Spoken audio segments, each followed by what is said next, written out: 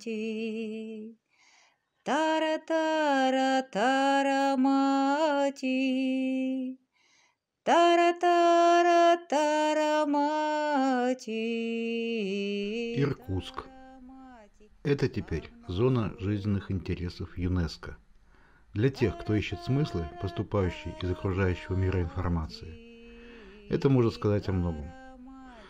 Надгосударственная организация ЮНЕСКО обладает такими влиянием и мощью, которая остается несбыточной мечтой для многих стран мира. Смотрите, какой выбор.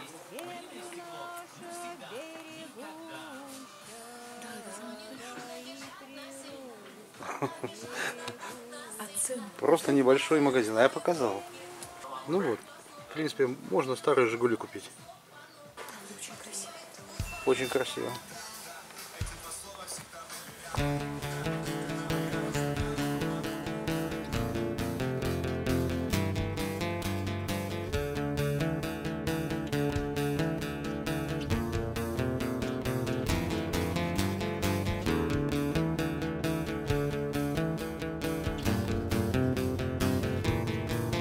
15 тысяч. Это вообще копейки за такую одежду.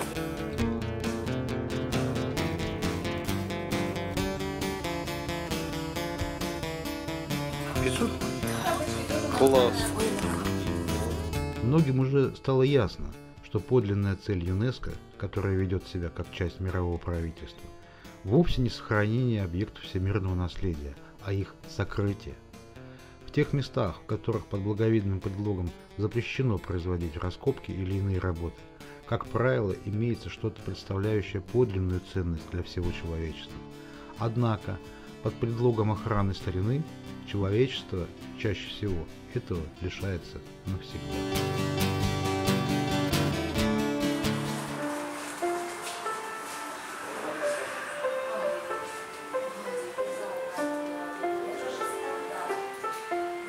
В эту аптеку туристы ходят словно в музей.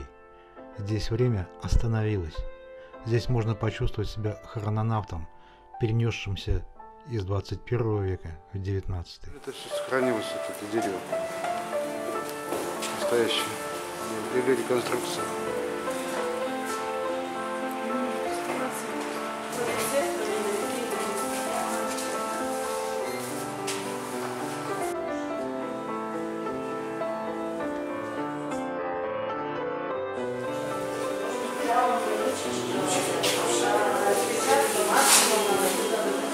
Малая Блиновская.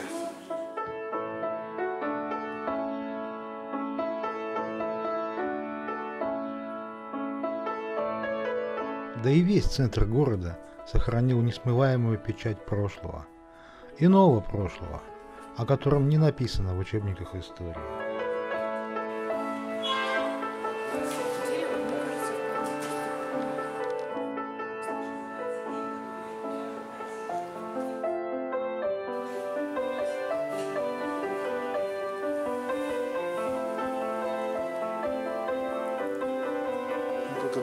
Не сохранился, тут был лепнина немножко. Ручки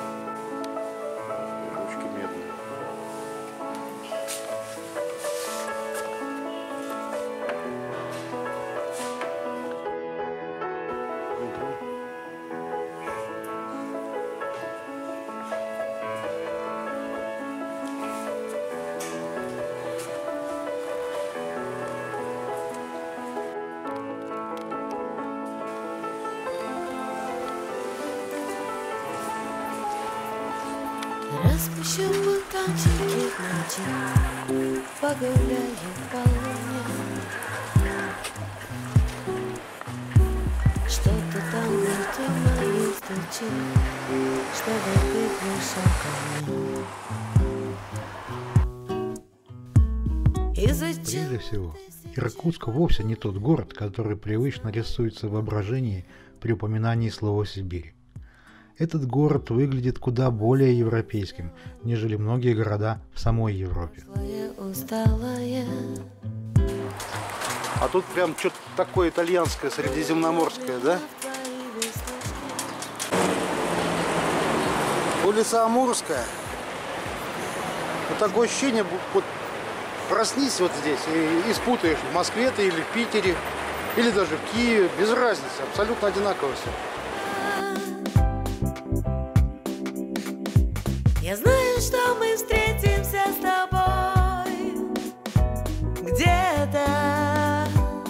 Как бы не хотелось ярым ревнителям лубочной Руси, но Иркутск – это не бурятский улус и не братское стойбище, даже не собрание деревянных палат и теремов, а самый, что ни на есть шедевр, пусть и недопотопной архитектуры, но классического ампира. Точно как в Питере. Замастичивали швы. Вот. Ну, это вижу, да.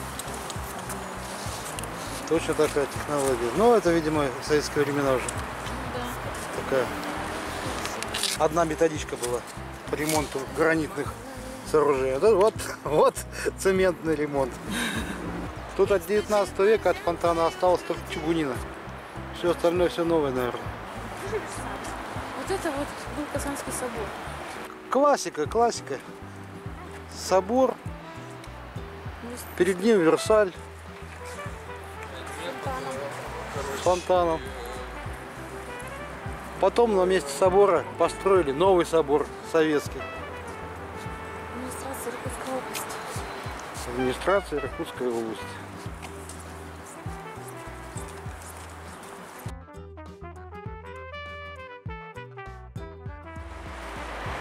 Ну, пока это идея. Вот Институт иностранных языков. Да, Версаль. И, конечно же, с великим трудом верится в то, что это великолепие строилось с нуля в дикой тайге. Чтобы потом шепнуть на ушко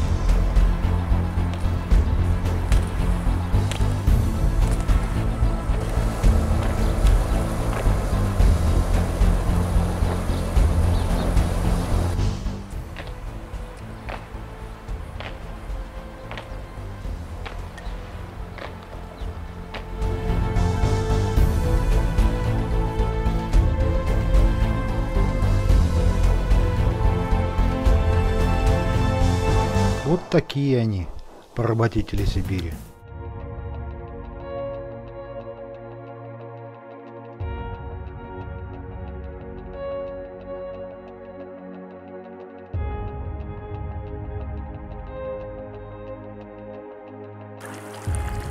Вот она какая, ангара.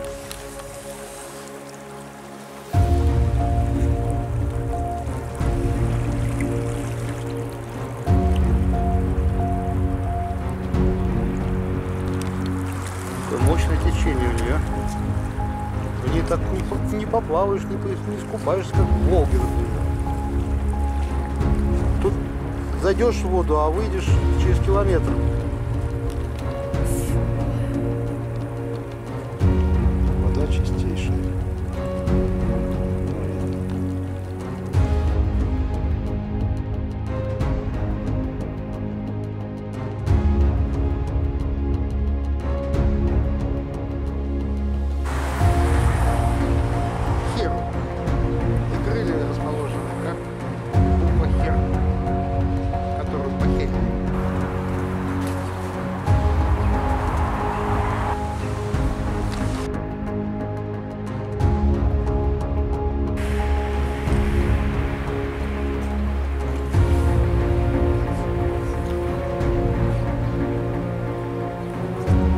Вроде бы в Иркутске нету закопышей.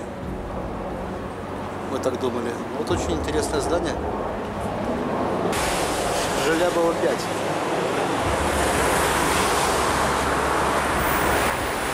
Красивая, просто красивая.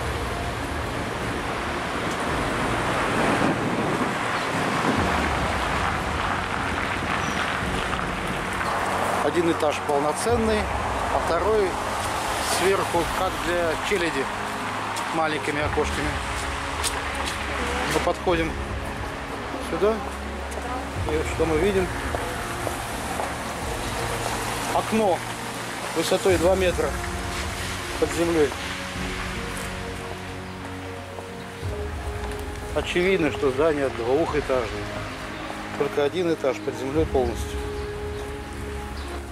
Подвалах, в цокольных этажах такие окна не делают. Значит, есть закопыши.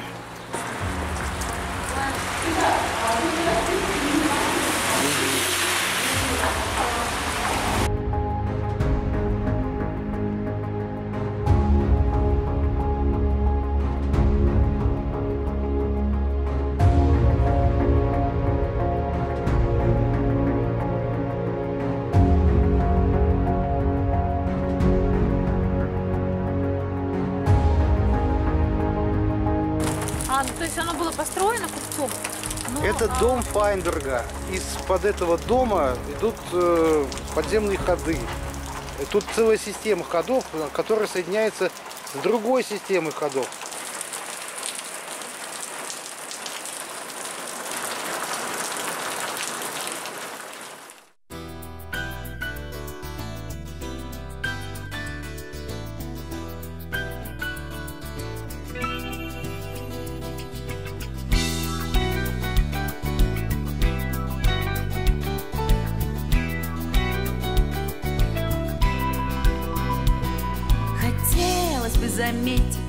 Нет, сказки о возникновении города на месте крохотного казачьего острога выгодны только тем, кто продвигает в умы молодежи мысль о том, что русские в Сибири – колонизаторы, которые поработили местное туземное население и не позволили ему развиваться своим собственным демократическим путем.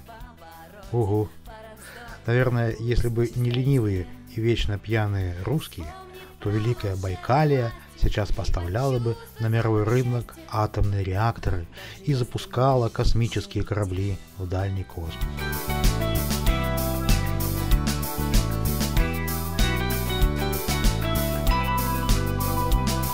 Хотелось бы проснуться, но великие страницы Ой, Карнеги, Фрейд, Конфуций не дают душе напиться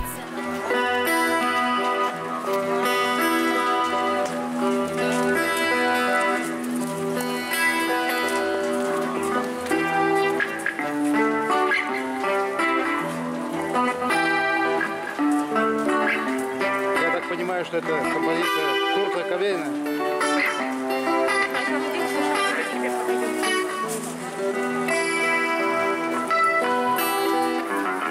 Близки на расстояние Искренние сердца Что ты делаешь, братан? доверяет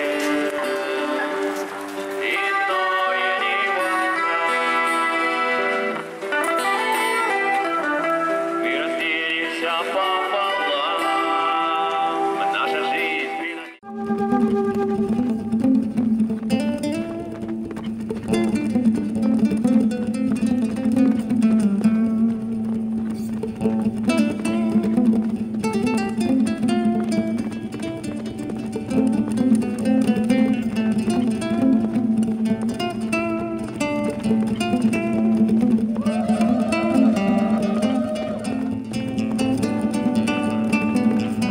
ведь косвенные следы существования развитой цивилизации в Сибири до ее якобы освоения Российской империи присутствуют в виде неявных подсказок повсюду. Невозможно было уничтожить все барельефы и орнаменты, которые свидетельствуют о том, что у Иркутска существовала неизвестная нам страница истории. Такая же замалчиваемая, какой становится история СССР. Глядя на безмолвных грифонов Иркутска, можно ясно представить, как в будущем исследователи будут смотреть на чудом сохранившиеся барельефы со звездами, серпами и молотками.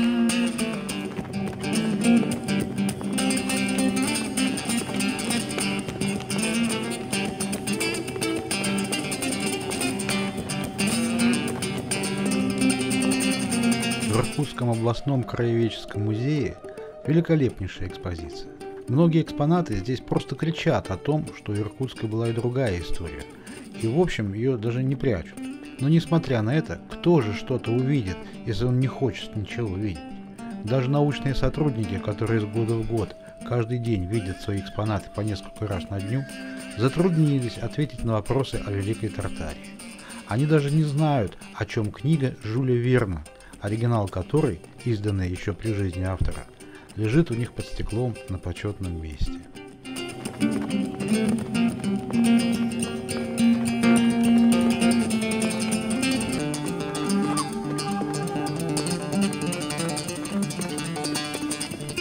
Краткий сюжет этой книги таков. Михаил Строгов, 30-летний житель Омска, служит курьером у императора Александра II. Татарский хан Феофар организовывает восстание и отделяет Дальний Восток от основного континента, повредив телеграфной линии. Мятежники окружают Иркутск, где находится штаб местного губернатора, брата царя, а Строгова направляют туда предупредить о предателе Иване Огареве, бывшем полковнике, которого понизили в звании и отправили в ссылку.